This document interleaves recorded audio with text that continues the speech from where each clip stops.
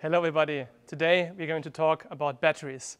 This is the first episode of the Munich Electrification vlog. We're going to talk about high voltage battery architectures as can be seen in electric vehicles.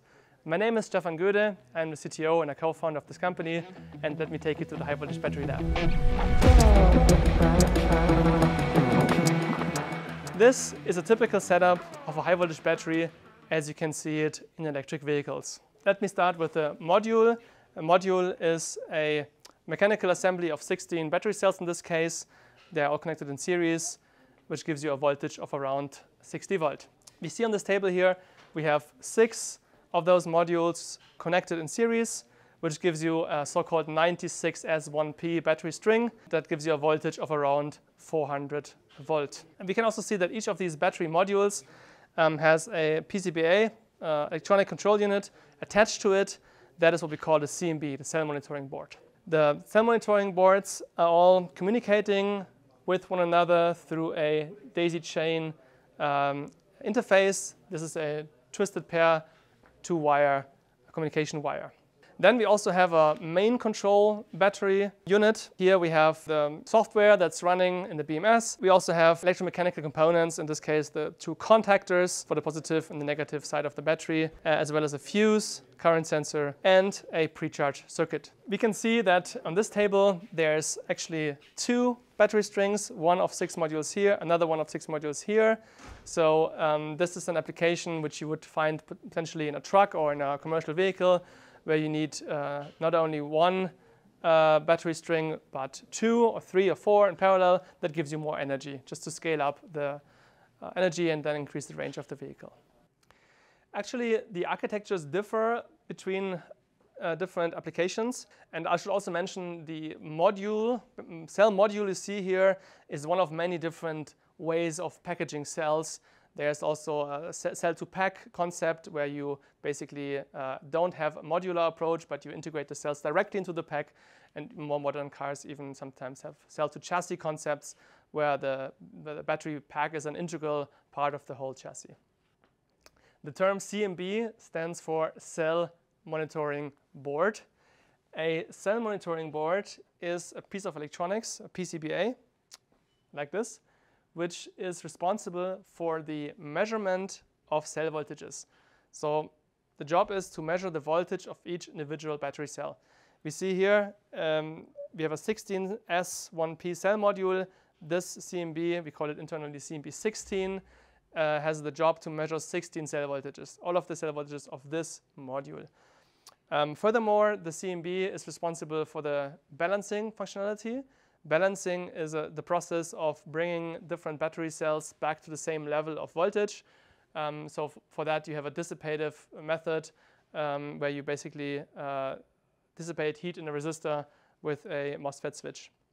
So that's another very important uh, job of the CMB to bring all of the cells in the module to the same level. The temperature of the battery cells is also very important to measure and to measure precisely. There are several reasons for it. The first reason is that battery cells uh, like to be in a temperature range where they feel comfortable.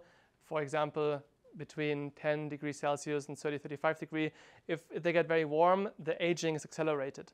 So typically a battery cell is uh, not operated at temperatures above 50 or 60 degrees Celsius because that would lead to an accelerated aging.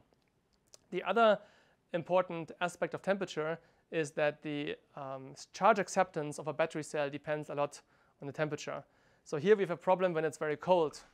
A cold battery, cold battery cell, is not able to be charged very quickly. As you can see here in this graph, the charge current limit depends a lot on the temperature. Why is that? Well, the anode, which has to accept the lithium ions in the process of charging, um, can't accept or can't intercalate those ions very well at cold temperatures. And as a consequence, an effect which is called lithium plating occurs, which means that the ions are not going into the anode. Instead, they are being absorbed outside, and that can lead to um, cell deterioration.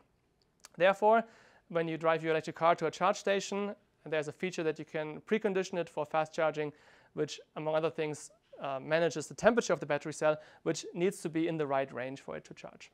As you can also see on the same graph, when it gets too hot, or too warm, the charge acceptance is also being reduced. That is in order to uh, protect the cell from degradation and from aging.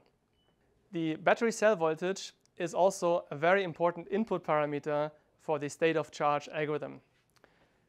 As you can see on this graph, the open circuit voltage of a battery is correlated to its state of charge. That means if the battery cell is in equilibrium state, we can measure its open circuit voltage, and based on that, we can determine the state of charge. Um, we can see here that the open circuit voltage curve is very different for different chemistries. Classic example, the lithium iron phosphate LFP chemistry has a very flat open circuit voltage curve, which means that there is a very wide SOC range for a specific voltage. On the contrary, if you look at the NMC cell chemistry, the open circuit voltage curve, it's, it's much nicer for the software engineers because you can determine state of charge much easier when you know the open circuit voltage. So the cell monitoring boards, the CMBs in a battery pack, uh, are very important in order to determine uh, voltage and temperature. And there's a large variety of different CMBs that we have designed at Munich Electrification. Basically, if you look at this, it's pretty straightforward. You have a module and you want to have one CMB per module. Sometimes though, we have large battery packs and we want to uh, have cell monitoring boards which are rather large, which are measuring a larger number of cells and which are contacting the cells in an innovative way. It could be uh, welding or uh, springs or wire bonding or whatever, whatever we want. In this case, the form factor of the CMB is very different. On the other hand, large electronics um, cost money and take space. So there's also an interest in making cell monitoring boards very small. So this is an innovative concept where we actually have uh, three 33 channel cell monitoring boards that are very compact, which we can clip into a holder, and therefore we can space, uh, save a lot of space. So basically those, uh, those parts measure as many voltage channels as each and every cell monitoring board here combined. Then of course there are different housing methods. Uh, this housing, for example, has an integrated nut, which makes the mounting process easy and nice. So there are little, many little things which, uh, which can be done to make CMBs um, optimal for the, for the end application and which make them uh, cost efficient and easy to mount. Well, thank you very much for watching today um, and see you next time.